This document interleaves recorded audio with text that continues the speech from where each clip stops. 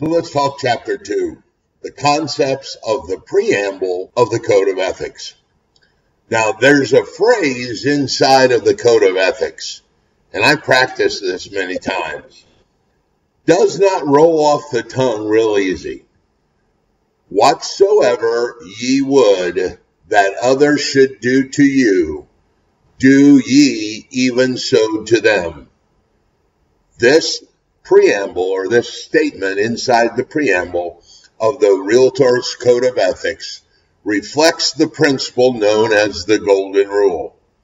This concept is the moral and ethical guideline of various religions and philosophical traditions, and it encourages individuals to treat each other as they would like to be treated themselves.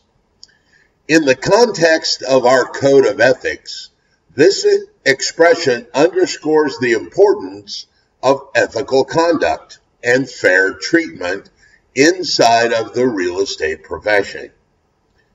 It suggests that realtors should interact with their clients, their colleagues, and the public with the same level of honesty, integrity, and professionalism that they would expect in return. So, by incorporating this golden rule into the preamble, the code emphasizes the reciprocal nature of ethical behavior. It encourages realtors to consider the impact of their actions on the others and therefore strive to have those interactions not only be legally compliant, but also be guided by a sense of fairness and empathy and mutual respect. This principle serves as the foundational element in creating a positive and ethical real estate environment, fostering trust and collaboration within the industry.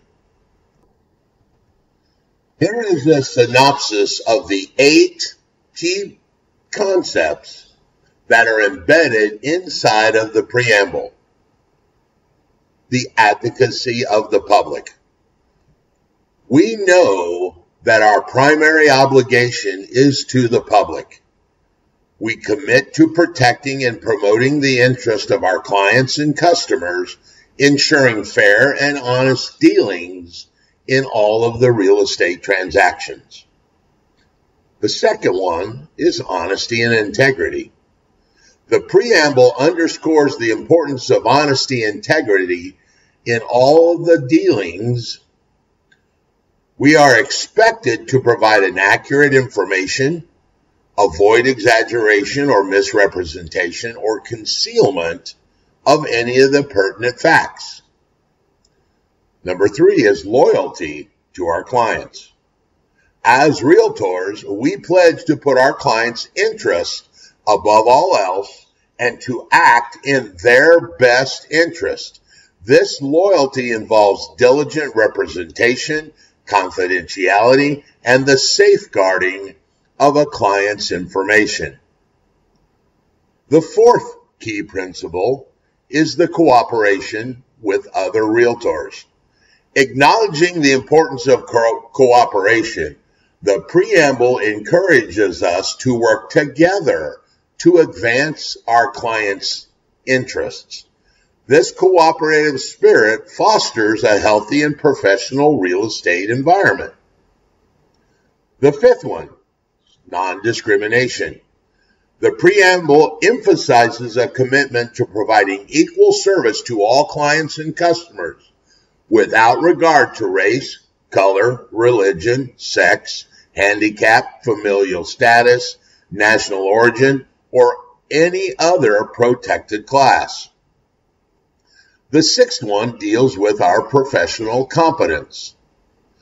We are to commit to enhance our professional knowledge and skills to provide competent and professional services to their clients, like doing continuing ed. Shameless plug. This ongoing commitment to education ensures a high level of expertise in our profession. we do have duties in our profession, which would be the seventh one. The preamble recognizes the importance of upholding the reputation of the real estate profession.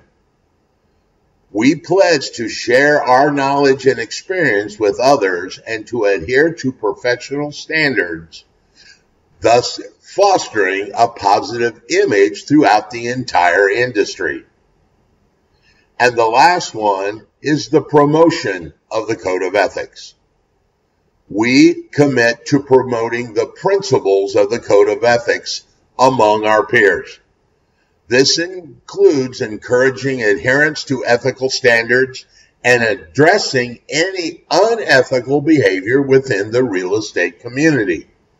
We are our brother's keeper. All right?